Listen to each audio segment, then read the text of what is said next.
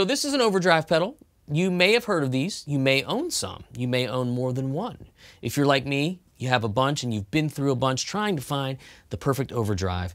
And perhaps the reason you haven't been able to find the perfect overdrive is because maybe you need to learn a little bit more about the best way to get them to align with your rig and create the sound you want to get. For me, an overdrive pedal has always been about being an extension of my single channel amplifier. That's sort of what I've always liked. Single, single channel amplifiers like Fenders, my Two Rocks, a Marshall, um, ways to actually add gain to the sound that you already have. Like I said, it's truly an extension, and that's why you see players with two, three, or more of them on a board because they're getting different flavors from these to really create their own sound. So there's a lot of choices out there for sure in the overdrive world, but if you understand some basic concepts of what you can find inside an overdrive pedal, you can really make an educated decision when you want to try one or you want to add one to your rig. We're going to take this pedal from a company called Westco Pedals. They're friends of mine out in California, and this overdrive pedal is called the Blue Highway. Now, real quickly, the guys that make this pedal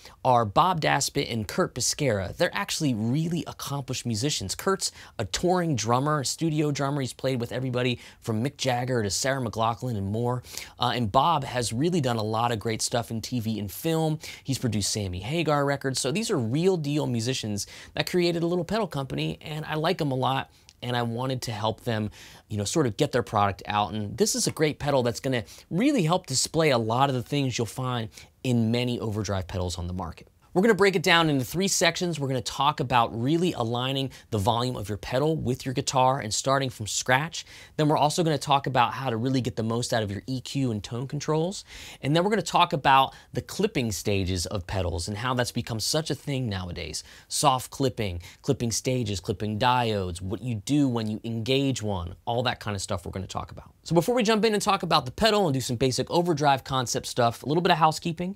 First of all, you can grab the track and the links below. You can also grab a sale link for my membership. It's a monthly subscription that gets you hundreds of lessons, all the tracks and tabs you could want, and I update it monthly as well as host a monthly Zoom call with all of you subscribers. So if you check my subscriber account, you can see that we're almost at 50,000 subscribers, and I want to celebrate that achievement. It's a really hard thing to do when you're starting from scratch. I'm a one man show here, and we're going to give away a guitar, and it's going to be this one, this G&L ASAT Classic. This is going to be the prize for somebody that enters this contest. All you got to do is hit the link below, you drop in your email. I'm not going to sell your email. I don't even know how to do that. I don't keep any information because you don't give us any personal information just the email. That's the way we contact you if you win. We'll never do it in YouTube. We'll never do it in the comments. A lot of spam, a lot of bots are out there doing that kind of thing. And believe me, I have no interest in doing that kind of thing. So this G&L ASAT Classic is going to go to one of you guys, and when you enter, you can do some really fun things like you can check out links for the guitar, and you can also subscribe to the channel to help boost your standing in the contest. Check the link, enter to win the guitar. All right, so let's jump in and talk about some overdrive tips. I think you're going to be really equipped by the end of this video to grab any overdrive pedal off the shelf, plug it in, and get great tones. All right, let's check it out. So before we jump in, let's talk about the rig. I'm gonna play this G&L ASAT Classic because this is the one I'm giving away, this very guitar. Details below about all that. You heard me talk about it earlier. So this is obviously a Tele style guitar uh, going into the Blue Highway Overdrive, into my old Fender Princeton, out of the Princeton into the Ox Box, and that allows me to record the amp direct without any microphones and still get a great sound. And a little bit about the amplifiers, because I hear some of you say, well, you have a, you know, an old Princeton, not everybody does, or you have a two rock, not everyone does. When you're in this digital domain and you're shrinking the, the sound down for you all to hear it on the internet or on your phone or whatever, it's very, very, you know, negligible differences, I have to tell you. Um, I've used Blues Juniors, my 100 watt Marshall, the Two Rock, a Princeton, and I'm generally getting a similar tone in the digital domain. I know that sounds weird, but it's a much different experience when you're in the room in person when the amp's roaring at you, as opposed to this digital world where we're shrinking it down so that you can listen to it the way we are. Now, the reason I like to use the low wattage Fender is because it gets up, uh, it gets to, you know, to volume quickly. It's a one knob volume control. We're all pretty familiar with the way Fender amps sound. New Fenders, Hot Rod Deluxes, Blues Juniors, they're all still going for that vintage Fender sound anyway. So kind of doesn't matter what I'm using. I know somebody's going to beat me up in the comments, but trust me, I've been doing this a long time and I listen to guitar through headphones and speakers in the studio a lot and the difference is negligible in this domain. Okay, we're going to get some great sounds, so sit back and relax. All right, so we're going to talk about actually how to get you know your guitar volume to match your pedal volume that's a first that's the first place we want to start so let's do that so the first thing i like to do is get the volume of the pedal and the tone of the pedal to match or get really close to what I'm hearing from just the guitar and the amp. A lot of folks would refer to this as like a unity gain type of setting. Unity gain basically means there's no difference in your volume or tone when the product is engaged, okay? We're always going to hear that a little bit, but I like to shoot for getting as close as possible to start with. So the pedal's off, and if I just strum a chord,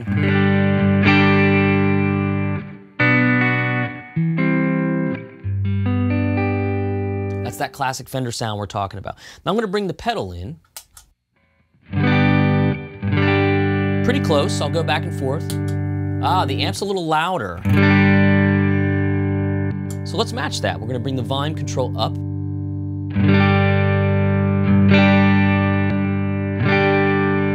And we'll try to keep matching it.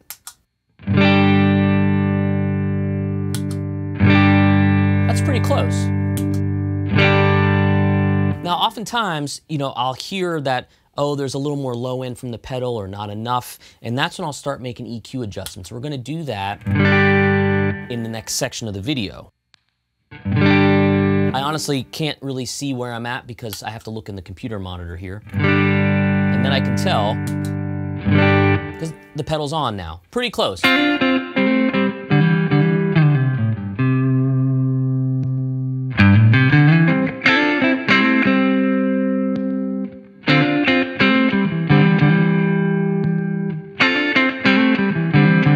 Little more low end bump when the pedal's in. That's okay. But very, very close. And you notice my drive is all the way down. So on my bottom here, I have volume and drive. And that's a great baseline to start from. And I also got that way because I was exploring the EQ knobs, which we're going to talk about next. But if you can, you know, take a simpler pedal maybe that just has a tone control, you're going to be able to dial it in on your own really easily. So we have volume and the gain is all the way down. The reason I like to start that way is when I kick the pedal in, transparent. That's what's nice. And, and also the transparent overdrive conversation, right? That's what they mean to start with. That's part of what they mean. We're going to get to other reasons why they say that too. Now I can start to bring the drive in, and the drive's going to bring in volume, and you're going to hear it start to kick in. I do have a single coil guitar. Turn the pedal off. Sorry, I'm moving it around there. It's kind of hard to do. So it's just a little bit of drive happening right now, but you see it did boost the volume of the pedal. If I want to match it a little bit more, maybe I'll bring the volume back.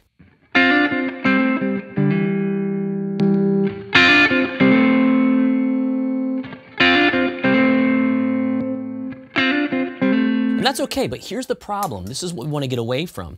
Is we don't want the pedal to sound like this, where it's kind of fizzy and splatty. We want the volume to open the amplifier up a little bit. So it sounds like the amp got turned up. A really great overdrive pedal for me, and what I like to do, is an extension of the amplifier, and I want it to sound like the amp got turned up. Somebody's over there and they just turned the knob up for me a little bit. When that happens on a Fender style amplifier or most tube amps, we do get that breakup sound.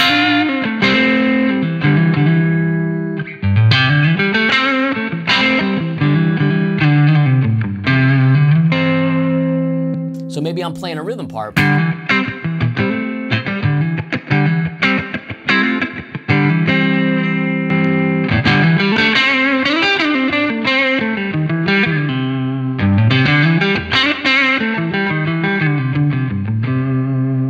That's a really nice way to use overdrive is just start to bring it in and make it act like the amplifier is just breaking up a little bit. Now, of course, we could continue to add more gain and we're going to have to adjust the volume to do that.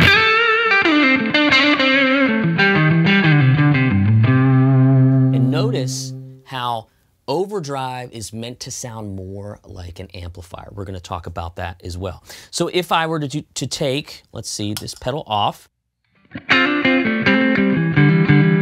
and I turn the amplifier up a little bit, it's on about three and a half, which is pretty typical for a lot of Fenders. They start breaking up a little bit past that.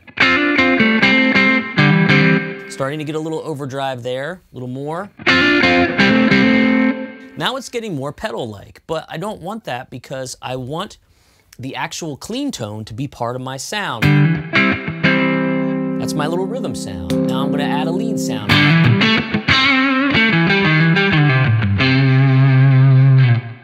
Adjust the volume to taste, okay? So start with it getting as close to unity buzzword, uh, phrase, as possible, okay? And then start to dial in your gain from there, all right? And this pedal has lots of headroom, which means volume. There's a lot of volume on tap, a lot of gain on tap. I used a ton of it in the beginning, and you'll see if you go back and watch the performance that different guitars, I had it, you know, cranked up for different things in different sections of the song, okay? But I'm always trying to make it match the initial guitar sound first. You don't want that volume to dip too low. It'll sound fizzy, it'll sound splatty, and it's really not going to help the amp open up and you know lots of times they'll say bloom right? So that's what you want this pedal to do. Push the amp start to get it to speak a little bit more. I really like the sound of it down about halfway there.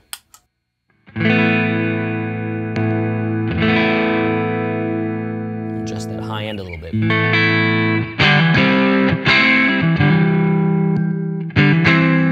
Even less. Adjust my volume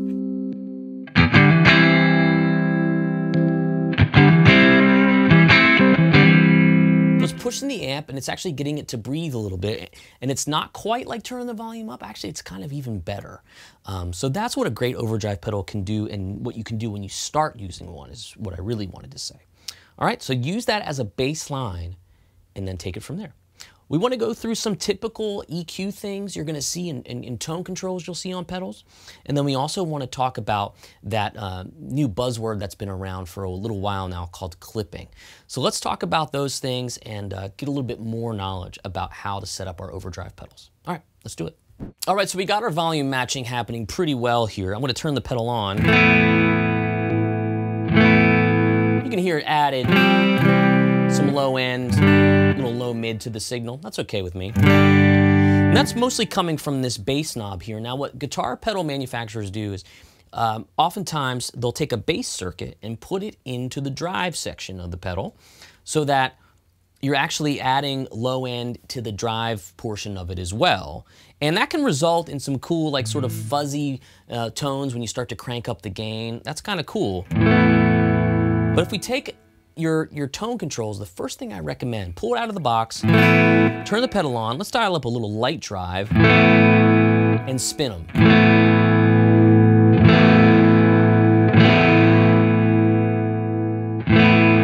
Really listen to the range of the knob. You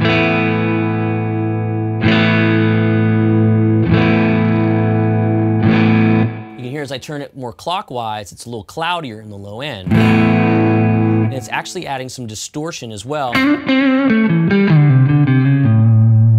I want it more, a little more defined, so I'm going to roll it back. I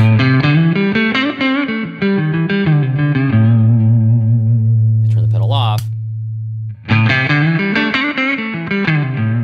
We hear a little more definition when the pedal's off, so maybe we want to pull this back. It's totally to taste.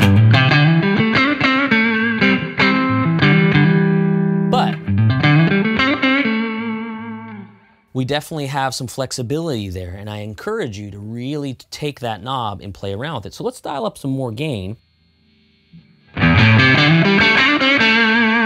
And on these pedals that have the bass in the drive circuit, hear how it gets kind of fuzzy?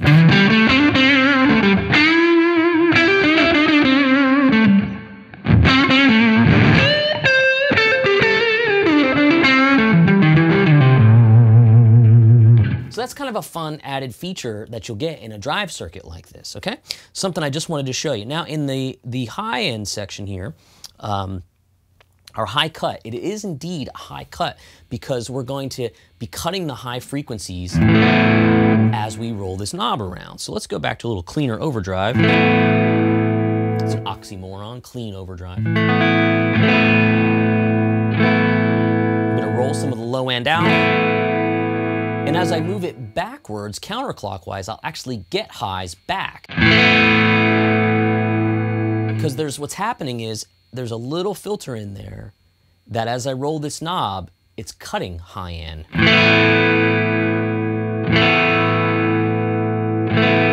Why do you want this? Well, maybe you're going for a nice creamy overdrive, right? Neck pickup, you want to play up here. Add the bass.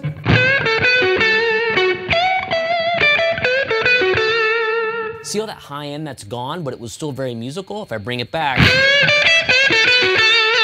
much piercier, piercier.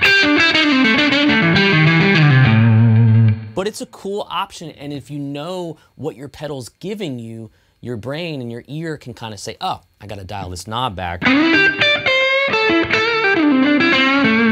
Hear how much personality I'm getting out of one pedal and one knob and one guitar. So I'm having more low end. I want to pull that back. I want to pull this back now.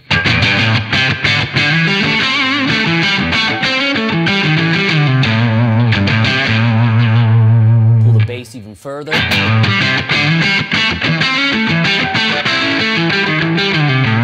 So I'm tweaking just ever so much and getting this wide range of overdriven tones just by using these EQ controls. Okay, really, really important. So when I look at a pedal board, if somebody throws a pedal board that I've never seen, you give me five minutes, I'll have it figured out because I understand how this stuff works. My brain has taught my ear, do this, do that, because you have to, you know, dig into the manufacturer a little bit and see what these tone knobs are doing. Are they taking highs away? Are they adding? Are they boosting? Is the bass in the overdrive portion of the of the chain of the pedal? All that stuff's really, really important and it all contributes to different kinds of tones. Okay, so that's just a little feature, um, a little thing I wanted to mention on the features of your EQ on most overdrive pedals. Again, the reason I wanted to use this pedal, not only because the guys at Westco are my friends, they're great musicians that build pedals, it's really, really a cool marriage of that, but it had all of the sort of tropes of overdrive pedals, okay? And those are just two things, the unity gain and the EQ stuff that we really wanted to talk about. Let's talk a little bit more about things that you'll see in pedals nowadays, and it'll help you make choices on which ones you want to purchase and how to use the ones you already own. All right, let's check that out. All right, so I pulled out my SG Junior. I use this in the track as well. Uh, I love this guitar. It's a rock and roll machine, and we're gonna do some more gain stuff, so I wanted to add it. I'm not gonna use humbuckers. I know some of you guys will probably get on me for that, but the same concepts apply to all of it. So use your, your ear and use your judgment when you're playing with humbuckers as well, um, because it's more about the pedal, not so much about the guitars. And you heard it in the intro too. This pedal sounds really good with all types of guitars. So, Love this guitar, it sounds killer. I dialed up just a light amount of gain, um, and we're on a function here, you'll notice this switch here called clip. And what's become really popular is to really start to talk about soft clipping, hard clipping in overdrive pedals, all those kinds of buzzwords. And it's not just buzzwords, it's really, really important stuff. Because generally, when you're talking about an overdrive pedal that has soft clipping in it, you're talking about overdrives like this, tube screamers, uh, Greer Lightspeed, those kinds of pedals. Um, you know, there's a bunch of them I, I could think of off the top of my head. But what's happening is it's affecting the, the this sound wave or the audio is coming into the pedal and the diodes in it are clipping it in such a way that it's making it feel and sound more reminiscent of what a tube amplifier might do. And that's why these you know, transparent overdrive types of words get thrown around because they're trying to get it to sound like a tube amplifier via a pedal. Now the reason uh, I'm not a huge tube screamer guy because typically they have this really pronounced mid-range, which you've probably heard people talk about. And some of my favorites like this and the Greer Lightspeed. Um, I like the JHS Morning Glory too is a nice one.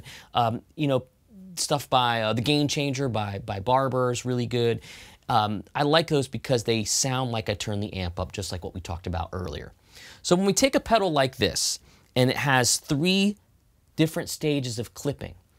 What happens is the diodes that are in it are making it sound more compressed, more tube-like, adding more saturation and gain. So you can get a lot of stuff out of one pedal. In the middle here, in this first clipping stage, turn the pedal off. We add that. It feels a lot to me like a tube amplifier. It's big, it's open.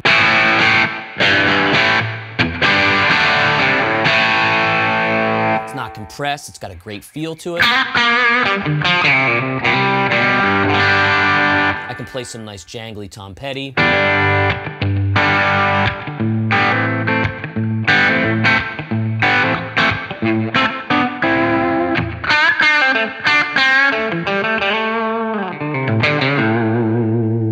So now if I go to another clipping stage, we're going to go to the second one on the left there. The volume usually dips. That's pretty, pretty much what happens when you change um, the clipping stage of a pedal. So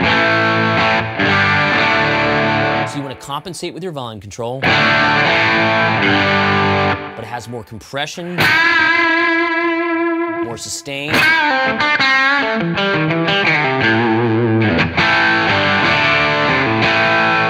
If you want to use it as more of a lead pedal, you might want to engage those clipping stages.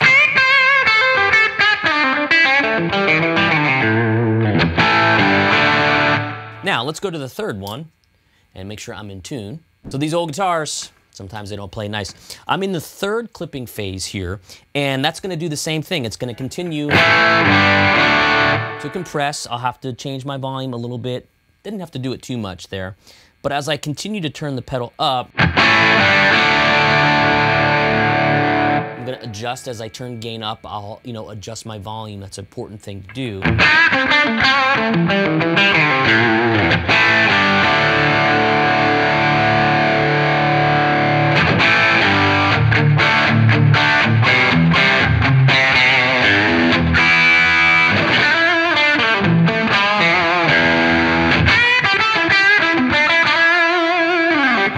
Went back to clipping stage one, listen to this.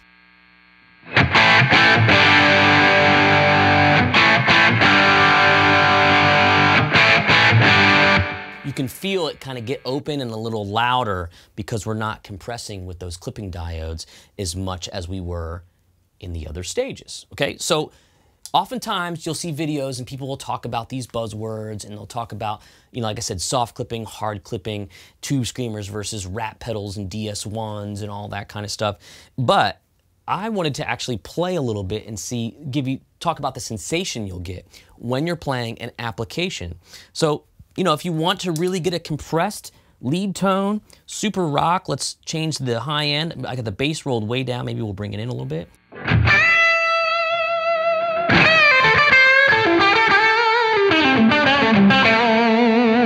A far cry from where we were earlier in the video. We'll give it all it's got.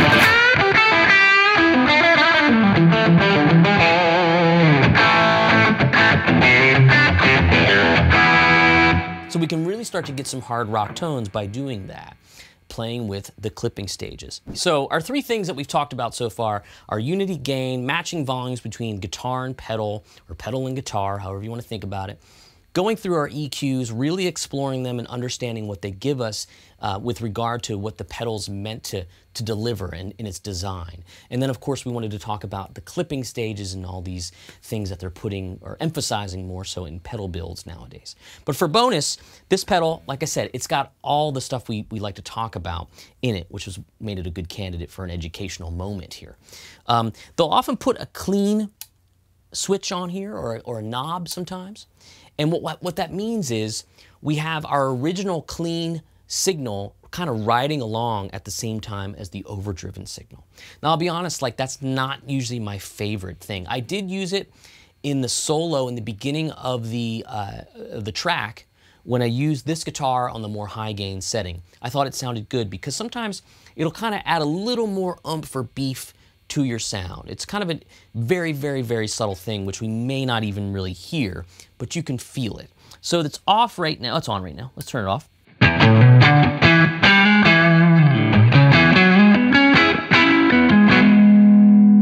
Put it on.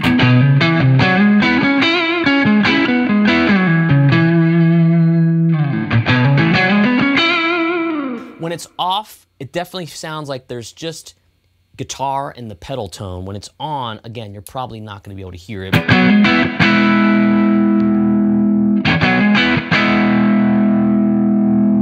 It's hard for me to get. Ah.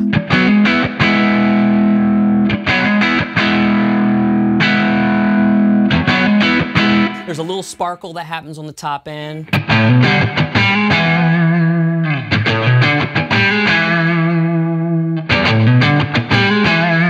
It's really subtle in this pedal, which I appreciate because in other pedals, to me, it's a little drastic. I think the old Voodoo Lab Sparkle Drive had a knob.